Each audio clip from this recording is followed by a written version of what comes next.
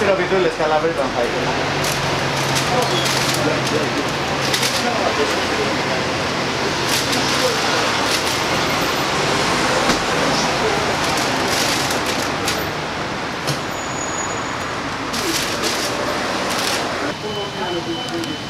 Αυτή η τυρόπιτα φτιάχνεται από το 1948 από τον παππούλη μου. Μετά την καταστροφή πήγε στην Αθήνα και την έβαλε στην τέχνη και τη συνέχισα εγώ από το 1993. Είναι χειροποίητη, η σφολιά τα φτιάχνεται με το χέρι.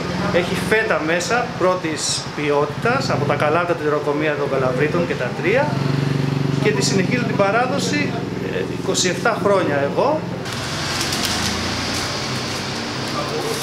Η τυρόπιτα αυτή δεν έχει υδρογονωμένα λίπη, έχει κορυφαίας ποιότητας βούτυρο και όλα τα υλικά της είναι πρώτης διαλογής και γίνεται με μεράκι και με τον ίδιο τρόπο που την έφτιαχνε από το 1948 ο πρωτεργάτης της τυρόπιτας. Προμηθεύω την ευρύτερη περιοχή των Καλαβρίτων, τα χωριά του Δήμου.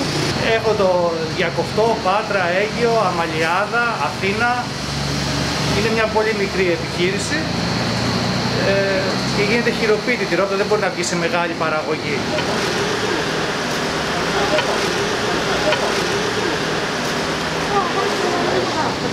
Θέλω να τον ευχαριστήσω για την τιμή, για την εμπιστοσύνη που μας έδειξε, να τον ευχαριστήσω για τη συνεργασία και να του ευχηθώ τα καλύτερα. Είχε μεγάλη απήχηση και ο κόσμος την αγάπησε την τυρόπιτα, γιατί γνωρίζει τη, τη γεύση της και ξέρετε από ποιο λόγο, από την επισκεψιμότητα στα καλάβρητα. Είναι το προϊόν το οποίο το ζητάνε πάρα πολύ να το, να το δοκιμάσουν.